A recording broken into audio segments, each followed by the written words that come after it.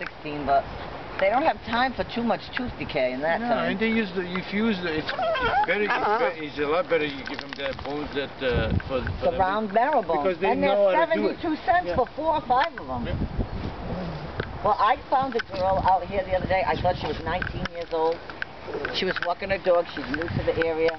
I was with my friend Mike. He goes, he, we're talking to the girl. Beautiful girl, like 5'10", slim, long blonde hair.